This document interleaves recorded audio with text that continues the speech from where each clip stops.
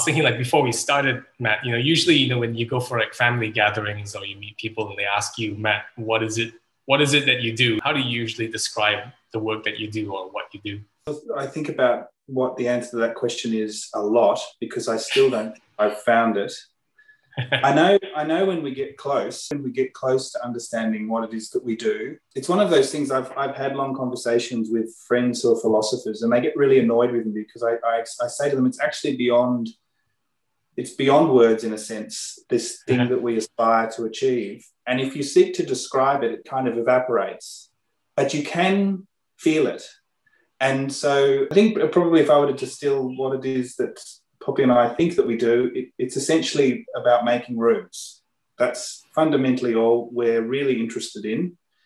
And then the scale of the room or the nature of the room, um, because it, it brings with it the implication of an awareness of others being in the room. So it's automatically, it takes us into the idea of, of what we're doing. I don't find it so interesting or compelling to talk about space and other things because it's um, doesn't really imply any kind of human humanity. So yeah. we're interested in in the in rooms and we're interested in the traditions of room making. I think that's fundamentally what drives our work and in what we do. Yeah, I love that this idea of whether it's purpose or whether it's you know occupation. There's this element of humanity and i think that does come up you know in your work and i think that's why you know i've personally been drawn to the stuff that you've been doing as well. I'll tell you quickly about how i encountered your work before i ask you about you know how you got yourself into what you do. So about 14 months ago i had my third child. And the night before he was born i literally got woken up in the middle of the night and got this this story from the bible pop into my head about abraham and about how Abraham looked to the stars. And God told Abraham that his children shall be like the like the stars in the sky. Went for a walk outside my house and I went online. I searched the word stars in the sky. Um, I searched this idea of birth um, or hearth. Um, and then a picture came up, which was your work actually.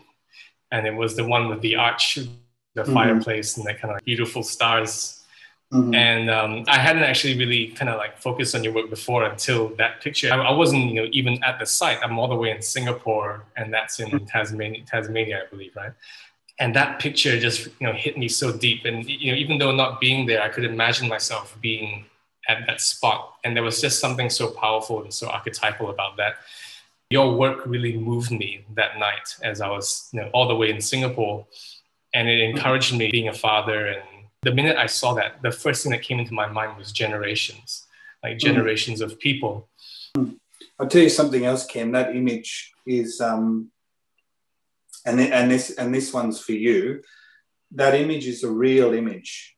That is a real photograph of the real night sky above the real light of the real interior of that of that space. So it's that's largely due to, frankly, the genius of Adam Gibson, who took the shot. I stood behind him when he took it, but it was important. It was important for me because I said to Adam when we went there um, that the image was a real manifestation of the intention behind the work. So that's a real image for you, Ken. Thank you. it definitely made a massive difference. I'm delighted by that story. I think it's marvelous. Yeah it, it really really made a massive difference for me. It just reminded me that that everything that i was kind of building towards in my life and everything that was important to me that it would it would live on for generations. I think that comes back to like this idea that we're talking about today which is the way that design or the work that we do you know for you like you said it's about making rooms um, for us is about telling stories how this idea of process and purpose can can intertwine a lot sometimes mm. My question for you would be when you see the words process and purpose, you know, what does that mean to you? Purpose is is a stronger word than process. Yeah. Because I think that the purpose is a grounding statement about the meaning of what we're seeking to to do. Process is like process I see as the kind of fundamental acts in practice. We talk a lot about what process is, but there's so much crap process But very rarely do you hear practitioners talk about purpose. You hear it, but you hear it from a particular strand of, of a mode of of practice. The architects that we most admire are driven by purpose in their work. It, it's not a typological question or a formal move or anything. Their work is underpinned by a searching quality that reveals the layers of possibility of the canon. We try our hardest to sit in that column, but it is incredibly difficult. It's interesting that you talk about stories because I can totally imagine that. And I, I see the parallel between what you do and our focus as well, and that stories becoming so critical that people need people need stories. And it's a way of communicating that is almost not bounded by time. There's a reason why when we go to Karnak, we feel crushed still. Yes, I agree. You're talking about you know typologies and archetypes in terms of shape and form. When you talked about not just about creating spaces but making rooms. As you're saying that you know i'm thinking about you know as designers and creators it's more than just kind of creating like say an archway right? I've always loved um, the shape of an arch not because it's a trend but because of the story behind arches you know the, the archetypal shape of an arch. When used properly like for example with with your project it just conjures up this beautiful feeling of a cave. Mm. um, and therefore that shape as an archetype is embedded in our storytelling. it, it is embedded mm. inside us and it moves us emotionally in certain ways. There's a reason why architecture is a culture. It's probably for the very same reasons that many forms of practice rely on traditions of thinking. But architecture is it's such a deeply resonating ambition that those qualities of the way that walls resolve into one another or resolve into a ceiling or how how an archway holds light differently or how an archway anticipates the fact that we might move our bodies differently to move through a threshold. Those things are fundamental, but they're ancient. So you, you, can be you can be wondering about those things in a in the sense of your work and even in the sense of ours, but they belong to a tradition. And so we we are always interested in as it seems you are too, that the acknowledgement that these things are a continuity of a dialogue about being in places and modes of modes of being and how um, certain interiors carry meaning for a lot longer than we live. so yeah. I can't jettison the idea that that our work has to outlive us. And even then, it still has to anticipate a human presence. It has to it has to tell a story. And I mean, look how much look how much work doesn't do that. That's the thing that I find so difficult um, currently is just the kind of emptiness of so much work. Yeah, the way that you think now, like all these thoughts about you know carrying forward you know human human presence. Um, you know, have you always thought this way? Like, what what made you kind of say, "I want to be an architect," and like, this is the way that I want to create? Or tell me about how you started, maybe. Poppy and I, we were both fortunate to be taught by really some exceptional people. And I remember the first year lecture um, with Bruce Goodsir, who was a practitioner who had come down from Queensland. He gave a lecture about a chair and a cathedral. I, I, I remember it so vividly. He started by saying, What is a chair? And then went to the next image and said, What is a door? What is a window? What is a room? What is a place to live in? What is a place to die in? And those questions just filled me in a moment, and something um, remarkable happened in my focus. There was nothing else I wanted to be.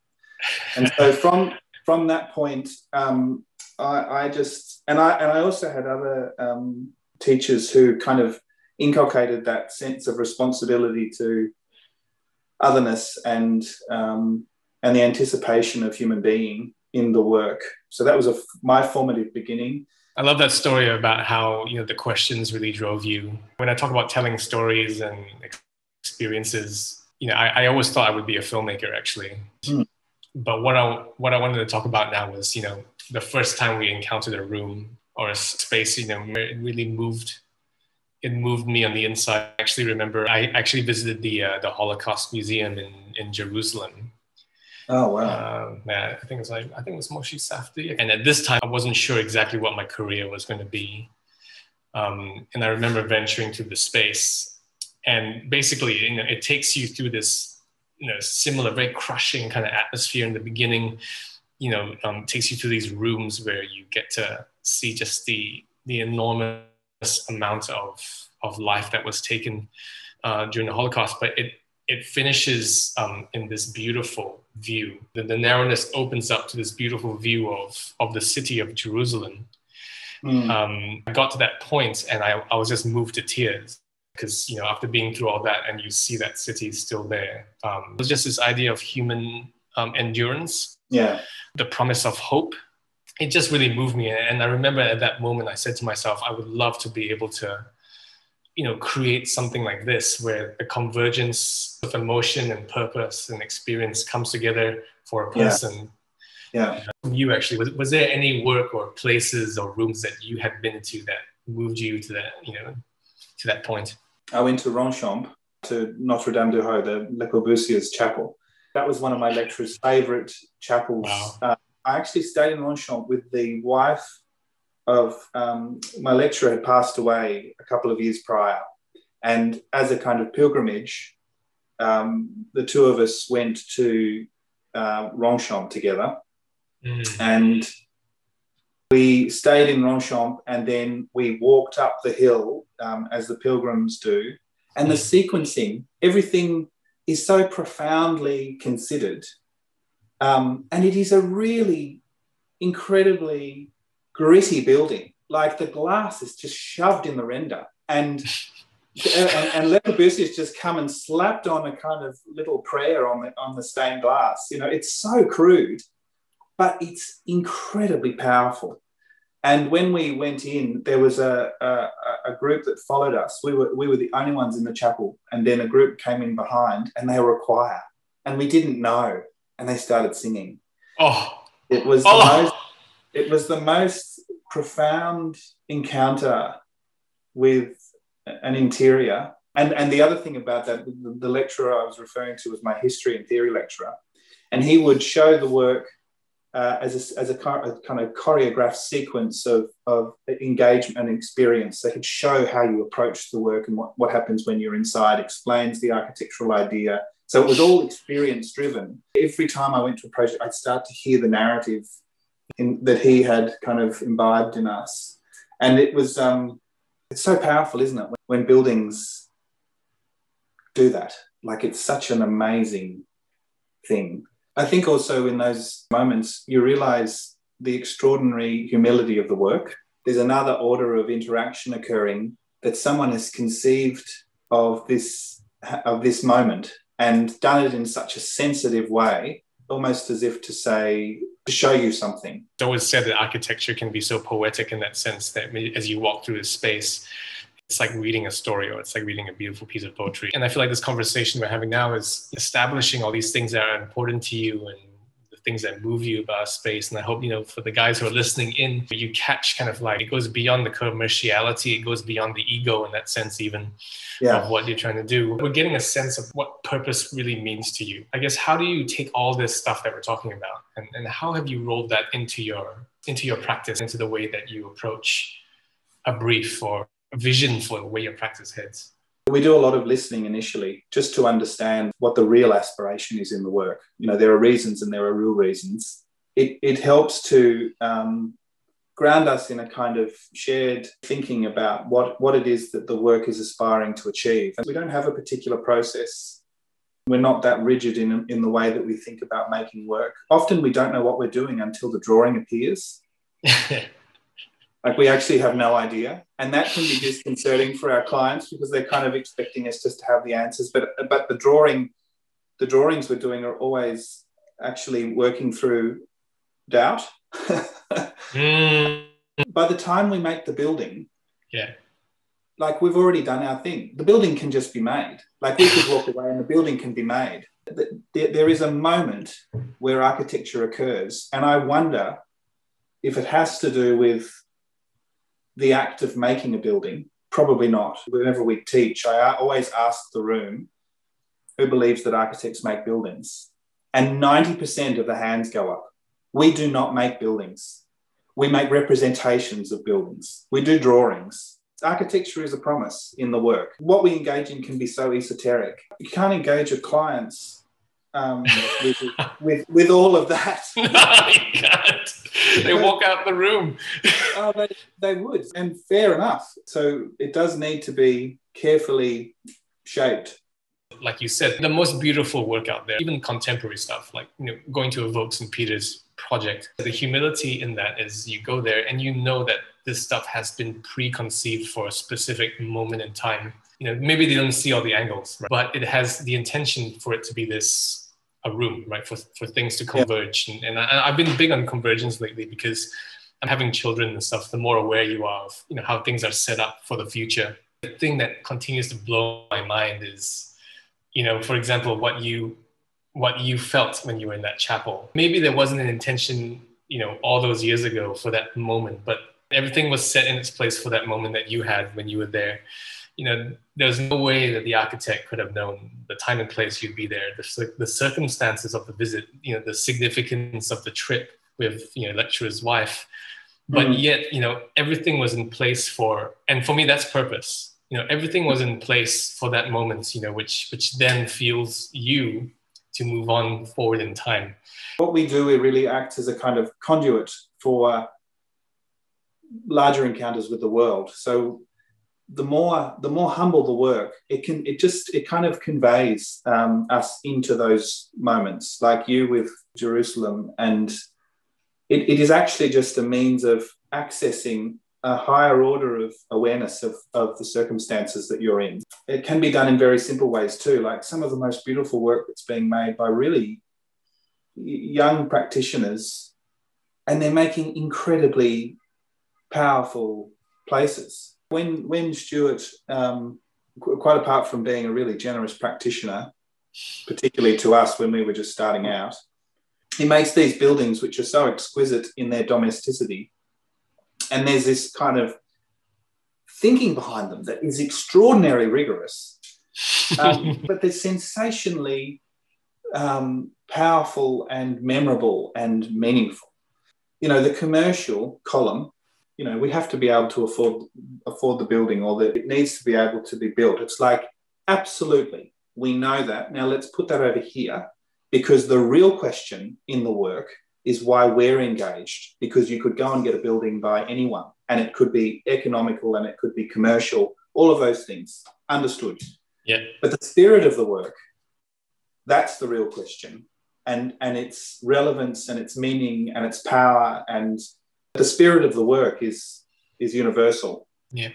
We have a whole generation of clients who do appreciate design. You know, they are mm-hmm. a generation that are, you know, starting to be able to create their own projects and starting yeah. to commission designers. And you also have a generation of fantastic designers, not just coming of age, like old man Stuart, right? Who's you know he's starting to peak in his career. but, yeah, but you that. have, but but we have but we have a generation of young designers as well coming into the market and understanding you know their voice. Thing that um, i've been thinking about with my kids as well. You can hear them scream in the background maybe. Don't just build big but build bigger than yourself. Yeah. And yeah like you said create for a higher purpose than just you know getting a building built or getting a design done. Yeah. I feel like this has been a conversation that's really been a great reminder for me so thank you so much for the conversation. Thank you very much. It was really great. Hopefully, we'll see you sometime. I want to come and visit your project all the way in Tasmania. Yeah, you do that. That will be very interesting oh.